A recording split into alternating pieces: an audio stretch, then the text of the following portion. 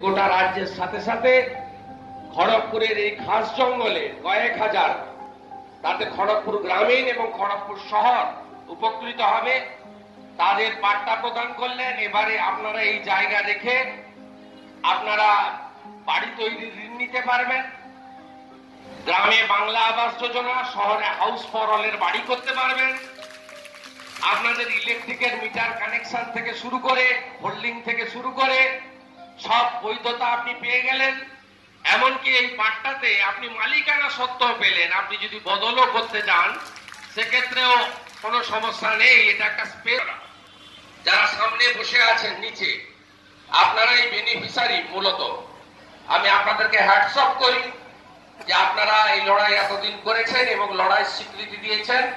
গণ আন্দোলনের নেত্রী মমতা বন্দ্যোপাধ্যায়। যিনি সিঙ্গুরে ২৬ দিন ধরে কৃষকের জমি রক্ষার জন্য অনশন করেছিলেন। নন্দীগ্রামে আমরা যখন লড়ি, তিনি অভিভাবিকার স্থান গ্রহণ করেছিলেন। তিনি আজকে এই মানুষগুলোর অধিকার প্রতিষ্ঠা করলেন। আপনারা পাটটা নিয়ে যান। একশো আট জনের হাতে আজকে তুলে দেওয়া হবে। আমি টোকেন কয়েকটা তুলে দিয়ে প্রস্থান করব।